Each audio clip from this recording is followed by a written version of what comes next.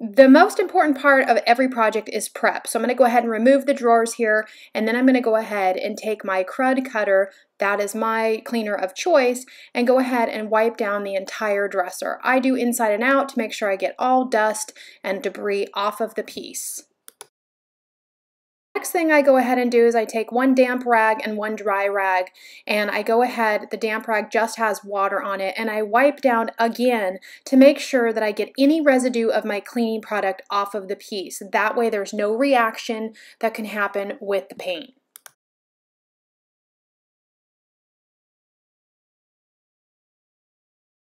This is my handy assistant, my awesome mom who helps me on all projects. She does all the cleaning and prepping on most of the pieces.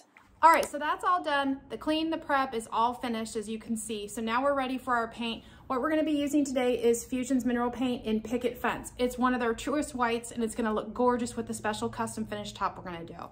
All right, it's time to go ahead and get started. I start by doing the frame and I like to do all of the little ins and outs of the piece to make sure that even when you don't see them from the exterior, if you open the drawer, everything looks nice and finished.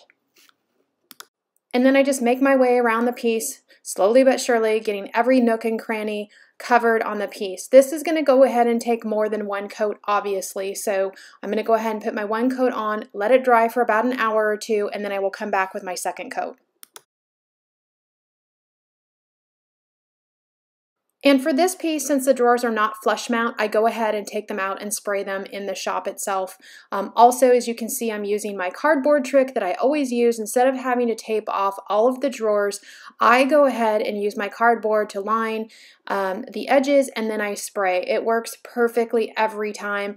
Once I put the drawers back in the dresser, I give them a once over to make sure I didn't miss any spots and I can go back and do the same exact thing.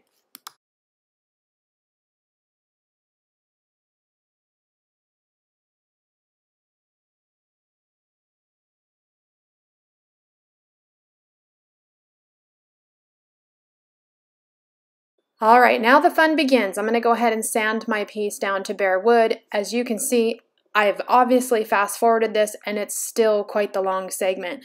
Sanding to bare wood does take time and I always say don't rush it. I start with 100 grit or 80 grit depending on what my wood is and then I work up to 120 150 and I'll either stop there if it's smooth enough or go on to 180. Here I'm just working with the 100 just to get the majority of the finish off. As you will see, I don't try to remove everything with the first grit of sandpaper. Just know when you're sanding a piece to bare wood, it does take a little bit of time, especially if the size of the piece is pretty big. Obviously, I'm not even halfway through and I'm still on my 100 grit. The key is not to apply too much pressure and make sure you move through the grits with ease so that you don't produce any coil marks or, or you don't have any issues with ruining the wood, causing divots, or anything like that.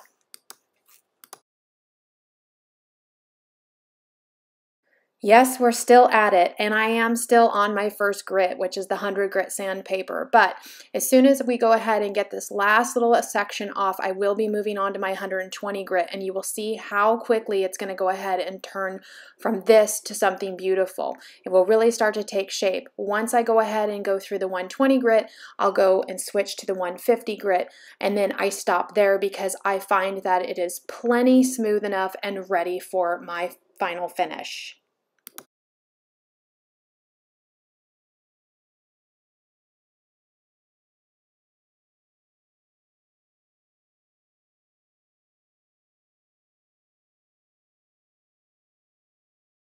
Quickly take my blower and I go ahead and blow all of the excess dust off and then I will wipe it down as well before all I right, start so here finish. comes the fun part. I'm going to go ahead and do a wash with Fusion's Algonquin and also their raw silk. I go ahead and dilute the paint to create a really nice wash so that's not super pigmented and it's easy to work with. All right, so this is where the fun begins. I'm starting with the Algonquin wash and I go from one end of the dresser top to the other. I'm not terribly concerned about getting the wash on my edge either because because I can go ahead and clean that up afterwards with a little damp rag. Plus, I'm going to go ahead and do one little touch up with um, a trim brush after I'm all done with this. So now I've picked up the raw silk color and I'm not concerned about switching out my paintbrush because I want this to be a blended look anyway, so I'm not concerned that I'm cross-contaminating the colors. I really want it to be a nice soft blend. So I just continue with the process back and forth and I switch the colors out a few times.